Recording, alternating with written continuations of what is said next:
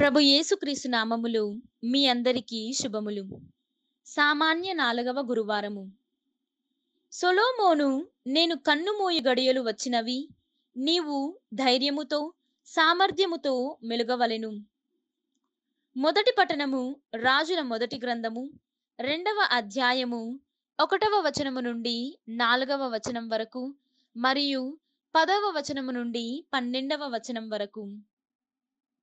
మొదటి పట్టణము రాజుల మొదటి గ్రంథము రెండవ అధ్యాయము ఒకటవ వచనము నుండి నాలుగవ వచనం వరకు మరియు పదవ వచనము నుండి పన్నెండవ వచనం వరకు. ఆ దినములలో దావీదునకు మరణము ఆసన్నము కాగా అతడు సొలోమోనును పిలిపించి ఇట్లు ఆజ్ఞాపించెను. నాయన నేను కన్నుమూయ గడియలు వచ్చినవి. నీవు ధైర్యముతో సామర్థ్యముతో మెలుగవలెను. ప్రభువునకు లోబడియుండుము.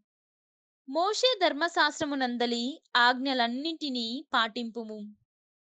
అప్పుడు నీవు చేపట్టిన కార్యములన్నీ సఫలమగును. నీవు పోయిన తావెందెల్లా విజయము సిద్ధించును. నీవు ప్రభుని ఆజ్ఞ పాటింతువేని యావే నాకు చేసిన వాగ్దానము తప్పక నెరవేరును. ప్రభువు నీ సంతతి వారు ధర్మ మార్గమున వర్తించుచు. పూర్ణ హృదయముతో నిండు మనసుతో నా ఆజ్ఞలను పాటించినంత కాలము ఇజ్రాయేలు దేశమును పరిపాలించుచునే ఇందురు అని నాకు మాట ఇచ్చెను. తరువాత దావీదు కన్నుమూసి తమ పితరులను చేరుకొనెను. అతనిని దావీదు నగరముననే పాతిపెట్టిరి. దావీదు నలుబది ఏండ్లు ఇజ్రాయేలీయులను ఏలెను. అతడు హెబ్రోనున ఏడేండ్లు ఎరుషలేమున ముప్పది మూడేండ్లు పాలించెను. సొలోమోను తన తండ్రి దావీదు సింహాసనమును ఎక్కెను. అతని రాజ్యాధికారము సుస్థిరమయ్యెను. ఇది ప్రభువాక్కు సర్వేశ్వరునికి వందనములు. భక్తి కీర్తన. ప్రభు నీవు సర్వభౌముడవు అన్నింటి మీద సర్వాధికారివి. ప్రభు నీవు సర్వభౌముడవు అన్నింటి మీద సర్వాధికారివి.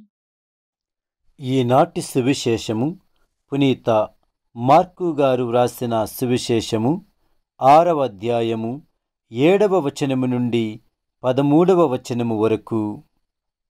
యేసు పన్నిద్దరు శిష్యులను తన చెంతకు పిలిచి బోధించుటకు జంటలుగా వారిని గ్రామములకు పంపుచు అపవిత్రాత్మలను వెళ్ళగొట్టుటకు వారికి శక్తినిచ్చెను. ప్రయాణములు మీరు చేతి కర్రను తప్ప మరి ఏమియు తీసుకొని పోరాదు. రొట్టెను గాని జోలెను గాని సంచిలో ధనమును గాని వెంట తీసుకొని పోరాదు. పాదరక్షలు తొడుగుకొనుడు. కాని రెండు అంగీలను తీసుకొని పోవలదు. మీరు ఎచ్చట ఒక ఇంట పాదము మోపుదురు అచ్చట నుండి వెడలిపోవునంత వరకు ఆ ఇంటనే ఉండుడు.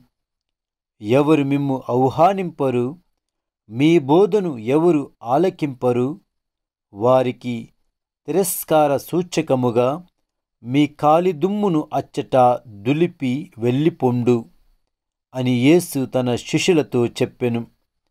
అంతటా ఆయన శిష్యులు పోయి ప్రజలు పశ్చాత్తాపముతో హృదయ పరివర్తనము పొందవలయునని బోధించిరి.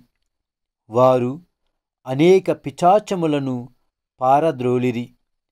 రోగులకు అనేకులకు తైలము అద్ది స్వస్థపరచిరి. ఇది క్రీస్తు సువిశేషము. క్రీస్తువ మీకు స్థుతి కలుగునుగాక.